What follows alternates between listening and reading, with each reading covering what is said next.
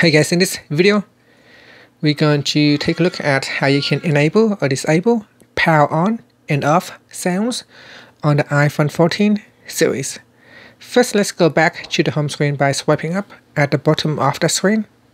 And on the home screen, tap on settings. In settings, swipe up to go down and tap on accessibility.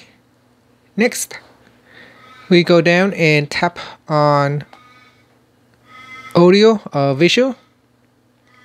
And in here, tap on power on and off sounds. Tap on the toggle button to switch it off, uh, switch it on. It said that play sound when iPhone is power on and off. So if I try to power off the device now, you can see it play a sound to tell me that the phone is not switching off. By default, this feature is not turned on. And that's it. Thank you for watching this video. Please subscribe to my channel for more videos.